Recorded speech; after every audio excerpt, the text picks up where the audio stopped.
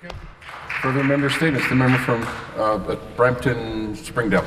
Thank you, Mr. Speaker. Mr. Speaker, one in two Canadians is eligible to donate blood, but only one in 60 give.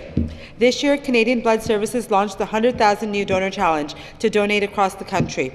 Every November of each year, the people of the Sikh faith come from around the world donate blood to commemorate the memory of the innocent lives lost during the atrocities of November 1984. It is one of the largest blood donation campaigns in Ontario and in Canada, saving over 113,000 lives. On November of each year, the Sikh community around the globe reaches out and embraces the vision that all humans should live a safe and happy life. The blood donation campaign led by the Sikh community makes you look at the history and the future as well. This campaign brings all humans together as one. With the vision of bringing people together around the globe, the Sikh community first started the blood donation campaign at the lower mainland of British Columbia in 1999. The campaign has now grown across Canada, the USA, Australia, and other worldwide locations. The Sikh, donation blood Sikh Nation Blood Donation Camp has globally saved many lives in each of these respective countries.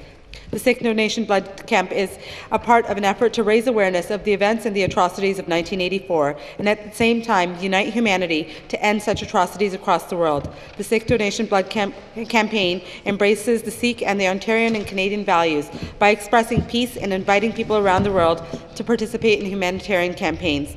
This campaign remembers the innocent Sikh victims of, an, of, the atrocities in November 1984, and in memory of these lives lost in 1984, a moment of silence at 6 p.m. on November 1st is observed every, observed every year. I invite everybody to, to join the upcoming blood camps in Brampton this weekend.